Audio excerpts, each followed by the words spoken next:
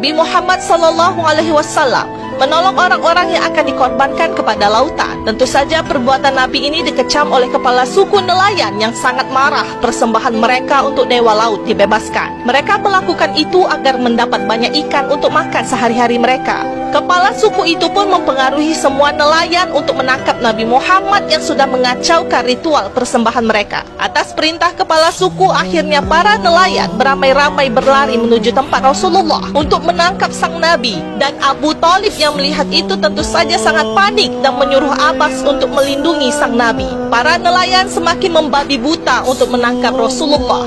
Tetapi Abu Talib dan saudara-saudaranya dengan sekuat tenaga pula melindungi Rasulullah dari serangan kaum nelayan. Mereka saling beradu kuat agar Nabi Muhammad SAW bisa diselamatkan. Dari kejauhan tampak Nabi yang sedang menyelamatkan para tahanan korban persembahan itu yang duduk di bawah berhala besar yang dianggap sebagai dewa oleh orang-orang di sana. Berhala besar itu terus disapu oleh air laut hingga cukup membuat orang-orang di sana berpikir kalau dewa berhala mereka itu sedang marah karena mereka tidak memberi persembahan. Tetapi tiba-tiba berhala itu patah, roboh, dan hancur berantakan disertai sapuan ombak besar. Lautan yang sangat mengganas menghujani orang-orang di sana dan mereka pun serta merta bubar dari sana menyelamatkan diri. Di saat itulah Abu Talib pergi menemui Rasulullah, tetapi Rasulullah hanya menyerahkan para korban persembahan untuk diselamatkan dan terjangan air laut itu semakin mengaburkan pandangan hingga membanjiri sebagian kampung nelayan itu.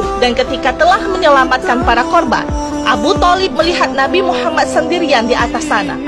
Nabi Muhammad Sallallahu Alaihi Wasallam berdiri di tengah-tengah terjangan ombak yang bergulung-gulung dan menghantam keras sekelilingnya. Ombak-ombak itu masih bergulung-gulung hebat ketika Rasulullah berdiri dan memandangi lautan itu. Seraya berdoa agar melalui lautan ini Allah memberkahi dan melimpahkan rezeki yang bisa dinikmati oleh orang-orang di kampung nelayan yang beliau kunjungi ini. Ombak-ombak itu pun bergulung semakin hebat hingga terjangan ombak besar seperti tsunami itu pun kini telah siap siap menghujani daratan itu dengan limpahan ikan-ikan segar yang bisa dinikmati oleh semua orang di sana. Dan inilah rahmat yang diberikan oleh Allah Subhanahu wa taala atas jawaban doa yang dipanjatkan oleh Nabi Muhammad sallallahu alaihi wasallam agar orang-orang di sana tidak kelaparan. Abu Talib terpesona dengan kebesaran Allah itu ketika melihat ikan-ikan yang bergelimpangan yang dengan rela menyerahkan diri mereka untuk disantap dan kepala suku yang melihat hal ini hanya bisa terpelongok melihat rezeki dari Allah ini dan tentu saja semua orang di sana begitu berbahagia sembari bersiap untuk mengambil semua rezeki yang telah mendatangi mereka. Mereka berbondong-bondong menaruh ikan-ikan itu di dalam tempat-tempat yang mereka bawa. Dan sungguh mulianya hati Nabi Muhammad sallallahu alaihi wasallam yang telah mendoakan kebaikan bagi orang-orang ini. Dan maha besar Allah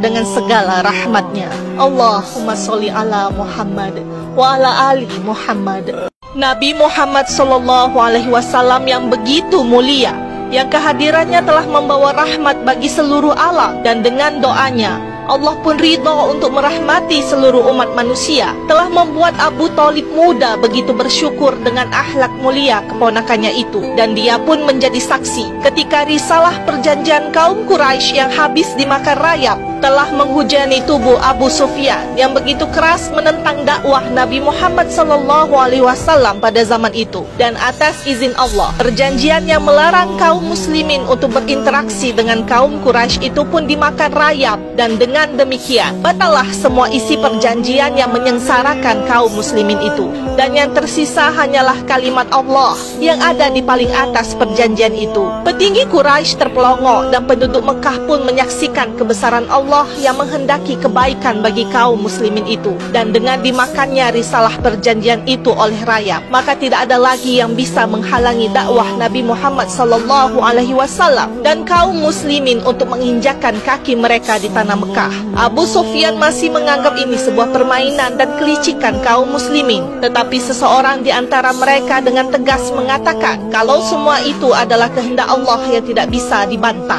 Hamzah dan Abu Talib lalu menyatakan mengatakan kalau inilah saatnya untuk hidup rukun bersama kaum muslimin. Dan sejak hari itu, semakin banyak penduduk Mekah yang menerima dakwah Nabi Muhammad sallallahu alaihi wasallam. Allahumma sholli ala Muhammad wa ala ali Muhammad. Terima kasih banyak sahabat.